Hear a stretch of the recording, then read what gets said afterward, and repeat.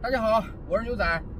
今天呢，我已经到达这个终南山了啊。为什么说是终南山，不说是这个秦岭？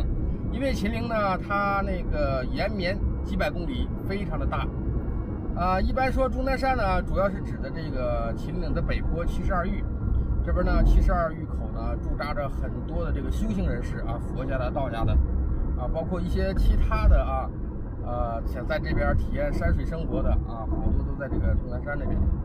那么我呢，在三年之前啊，也是先来到这个终南山的汤峪，后来在这个终南山的汤峪呢，认识了一个开民宿的大哥啊，然后结识了他之后，我们就成为了朋友。每年我来终南山的时候，第一次都先要去他那边。呃，后来呢，就认识了知森道长。知森道长的话呢，住在库峪啊，和汤峪。差不多相隔啊十来里地啊，非常的近。像开车的话呢，一般十几分钟也就到了。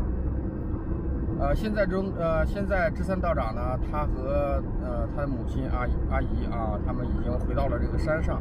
今天稍微晚一点的话呢，我会去拜访知三道长。我先去这个汤峪，然后接下来的日子呢，我就会在这边去给大家更新这个视频。好，咱们现在马上进入这个汤峪镇了啊！这个汤峪镇呢，是终南山的七十二峪之一啊，也是非常有特色的一个峪口。这个峪口呢，呃，主打的是这个温泉啊，它有这个室内和室外的这种温泉。这个镇子啊是非常大的啊，也比较繁华。呃，我当初来的这个终南山呢，这边就是第一站。这次呢，先去。跟那个大哥打一下招呼，一会儿再去这个库峪，在这个汤峪这边啊，吃住根本都一点都不用担心啊，因为在这边的话呢，这个农家乐还有这个民宿啊，都相当的多啊，无论是便宜的、贵的啊，各式各样的，然后小吃饭店也比较多。咱们开始拐弯了，它这个峪口啊，它是一个开放型的。它不像有的峪口，有的峪口的话呢，它封闭型的，你不是本村人啊，你还进不去。像这个库峪啊，库峪的话呢，它就是那个封闭型的啊。这个汤峪呢，它是开放型的。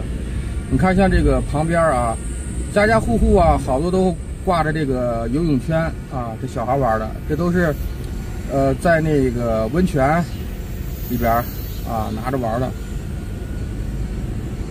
这个街道啊也非常的干净，在这边。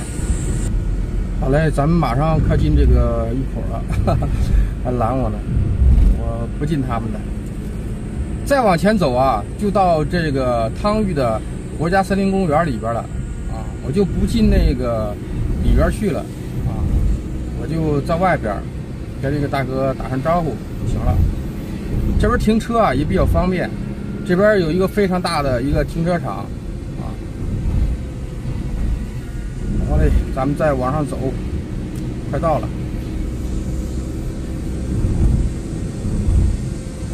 这边的道观啊，还有这个庙宇啊，也非常多的。这边就是那个，好嘞，我就停这边了。哎呀，啊，大哥今天上班去了没有？在，咱们走了啊，啊。我先去库峪了，啊，这边是那个停车场，还是非常大的这个地方。再往里面走啊，就进那个峪口了。我现在给道长来取个快递。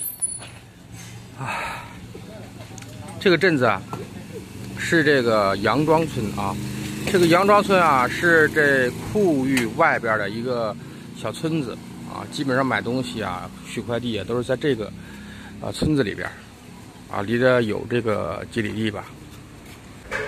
快递已经取到了啊，现在就开始进山了。咱们进的这个村子啊，就是库峪河村了。呃，过了个村子过去，就到那个峪口了。这个峪口啊，一般就是拦着的。呃，不是这个村子里面的人啊，不是在这里边住着的人，你基本上就是很难进去啊。就算是陕西人，基本上也进不去，除了在这个里边的这个村民。啊，有的都是一些往回返的，还出来的，拦在那儿，不让你进，就你就进不去了，也就。